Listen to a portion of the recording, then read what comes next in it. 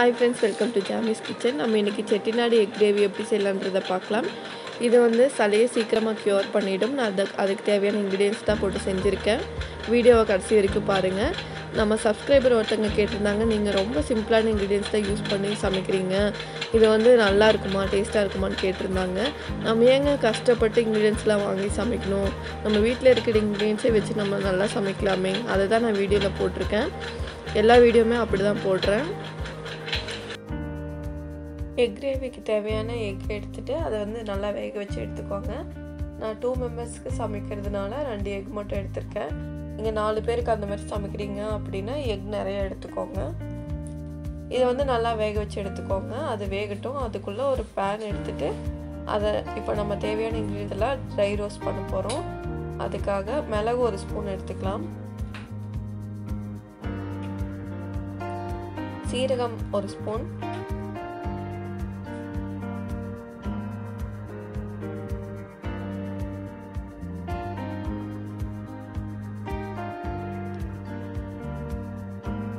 Dry chilli எடுத்திருக்கேன்.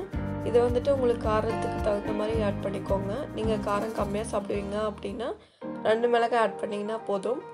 ரெண்டு ஏலக்காய் ஆட் பண்ணிக்கோங்க.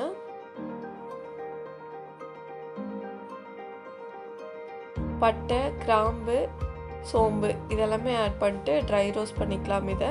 நீங்கள் ஒரு நிமிஷம் சிம்மில் வச்சுட்டு ட்ரை ரோஸ்ட் பண்ணிங்கன்னா போதும்.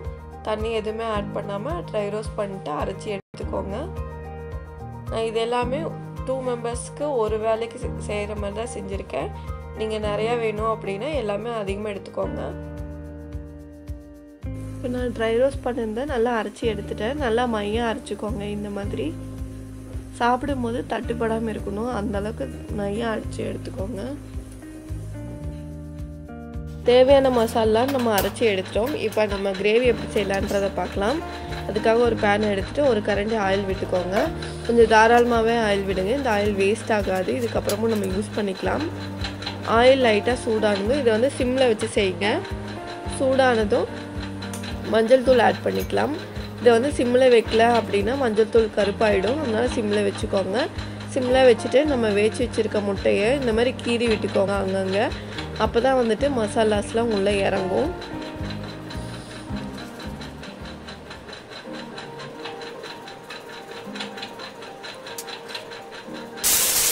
நல்லா கீறி விட்டதுக்கப்புறமா இந்த எண்ணெயில் போட்டு இந்த மாதிரி பொறிச்சு எடுங்க. இதை சிம்மில் வச்சு தான் செய்யணும் நீங்கள் ஹை ஃப்ளேமில் வச்சு செஞ்சீங்க அப்படின்னா முட்டை கருகி போயிடும்.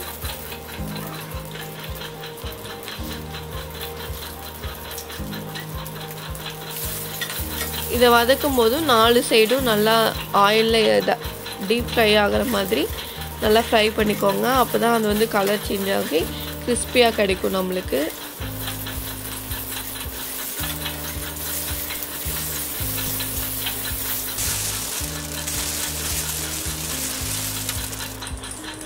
இப்போ பார்த்தீங்கன்னா நல்லா ஃப்ரை ஆயிடுச்சு. பார்க்கும்போதே கிறிஸ்பியாக இருக்கிறது நல்லா தெரியும். இப்போ இந்த ஆயில் சேஞ்ச் பண்ண தேவையில்ல. நம்ம இந்த ஆயிலே வந்து கிரேவி செஞ்சிடலாம். இதுக்காக வெந்தயம் கொஞ்சம் ஆட் பண்ணிக்கோங்க. சோம்பு. நான் இது எல்லாமே டூ மெம்பர்ஸ்க்கு ஒரு வேலைக்கு செய்கிற மாதிரி தான் செய்கிறேன் நீங்கள் நிறையா பேர்த்துக்கு செய்கிறீங்க அப்படின்னா கொஞ்சம் அதிகமாக ஆட் பண்ணிக்கோங்க. இதுக்கப்புறமா நான் ஒரு பெரிய வெங்காயம் ஆட் பண்ணியிருக்கேன். இதில் வந்துட்டு வெங்காயம் தான் டேஸ்ட் கொடுக்கும். அதனால் கொஞ்சம் நிறையா வெங்காயம் ஆட் பண்ணிக்கோங்க. உப்பு அரை ஸ்பூன் ஆட் பண்ணியிருக்கேன்.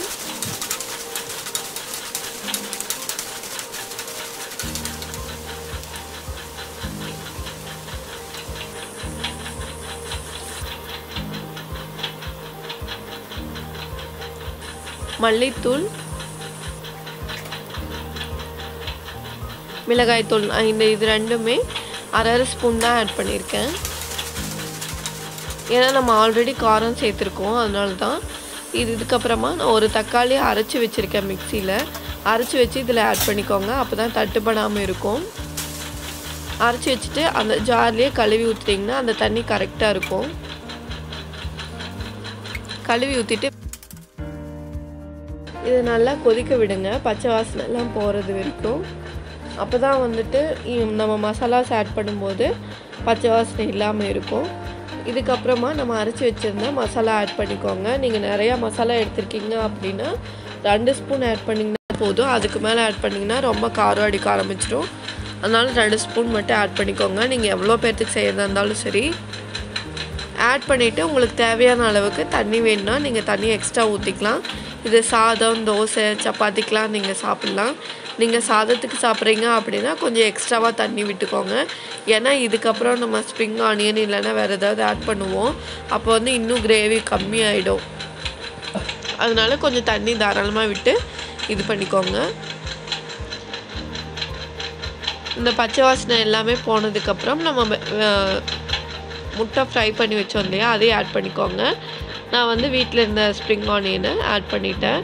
இது இல்லை உங்ககிட்ட அப்படின்னா கொரியாண்டர் லீஃப் இல்லைன்னா கறி லீவ்ஸ் ஏதாவது நீங்கள் ஆட் பண்ணிக்கலாம். இப்போது நமக்கு முட்டை கிரேவி ரெடி ஆயிடுச்சு. செட்டிநாடு கிரேவி இப்படி தான் செய்வாங்க.